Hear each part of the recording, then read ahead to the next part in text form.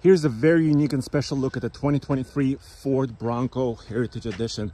The one you see here in, is in race red color. This is a two-door, 2.3 liter Heritage Edition Bronco with a unique style.